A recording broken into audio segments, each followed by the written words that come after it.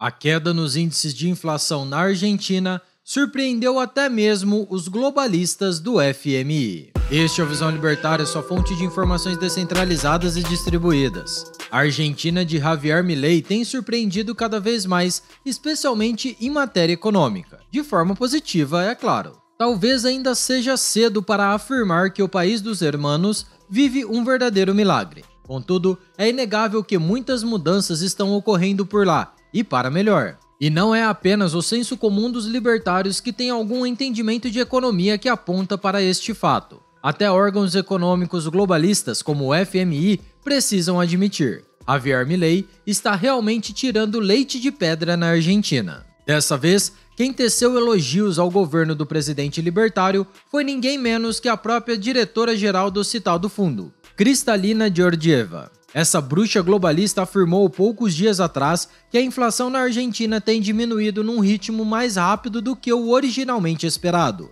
De acordo com suas palavras, citação: O país que durante muito tempo foi visto como atraso de um ponto de vista de reformas, agora está avançando rapidamente no ajuste de gastos. A inflação está caindo um pouco mais rápido do que esperávamos inicialmente. Fim da citação. Na verdade, esse foi o segundo elogio seguido, recebido por Javier Milei. Ainda no começo de abril, a própria Cristalina já havia afirmado que o plano do presidente argentino para o país estava apresentando um progresso impressionante. E de fato, se tem algo que o pacote de mudanças proposto e levado a cabo pelo presidente libertário é, é impressionante. Apenas para ficarmos no âmbito da inflação, podemos fazer um retrospecto dos últimos dados disponíveis para a economia argentina. No mês de dezembro, período em que houve a transição do antigo governo para o atual, a Argentina sofreu uma inflação de 25%. Já no mês seguinte, esse índice caiu para pouco mais de 20%, sendo reduzido na sequência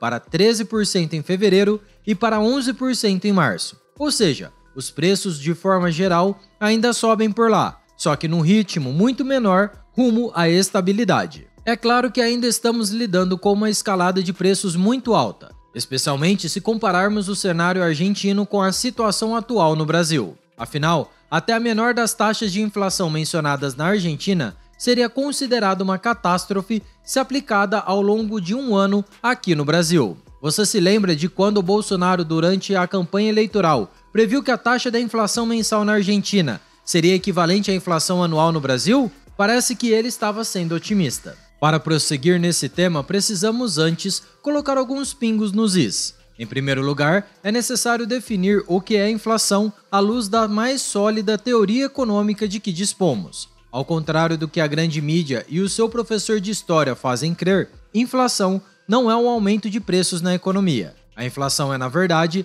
a expansão da base monetária, ou seja, o aumento da quantidade de dinheiro em circulação na economia. E quanto mais dinheiro é impresso pelo governo, mais desvalorizada fica a moeda. É a lei da oferta e da demanda, funcionando para o dinheiro. Se a oferta de dinheiro cresce acima da produtividade, então esse dinheiro vale cada vez menos. Em função disso, os preços tendem a subir se cotados por essa moeda. Esse fenômeno nada mais é do que o ajuste natural por parte do mercado à nova base monetária. É por isso que, geralmente, os efeitos da inflação são medidos com base no aumento dos preços, de forma contínua na economia. Contudo, precisamos reafirmar: esse aumento de preços não é a inflação, ele é apenas o efeito mais visível de uma inflação que já aconteceu. Pois bem, é justamente aí que reside a explicação para o atual problema argentino. O governo anterior capitaneado pela anta do Alberto Fernandes, imprimiu dinheiro de forma descontrolada para bancar os crescentes gastos estatais.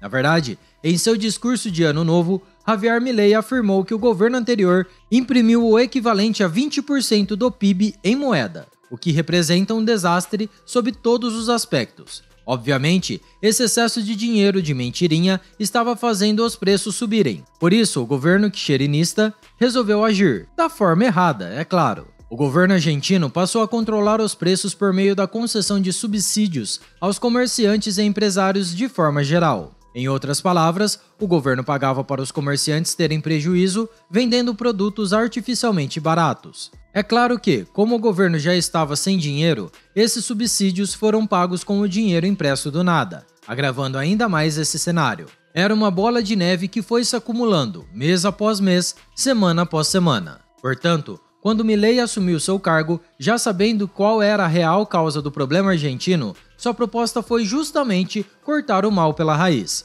Assim, todos os subsídios foram imediatamente encerrados e os preços foram liberados. Isso, naturalmente, fez os preços subirem, uma vez que, como dito, eles estavam represados por uma danosa política de subsídios. O que está acontecendo na Argentina agora é apenas uma natural correção. O mercado está adequando os preços à base monetária herdada por Milley, mas que não é culpa dele. Por isso, a atual inflação argentina se deve ao antecessor do presidente libertário, embora isso não seja tão claro assim para todos. A tendência é que os preços continuem subindo sim, porém apenas até chegar a um patamar de estabilidade, uma vez que Javier Milei tem enxugado a máquina pública para fazer cessar a impressão de dinheiro. Quando isso acontecer, então, a inflação na Argentina vai descer a níveis invejáveis para muitos países latino-americanos, sendo que provavelmente isso vai tornar a tão sonhada dolarização da economia muito mais factível. Olhando para os números da inflação argentina, nos últimos meses,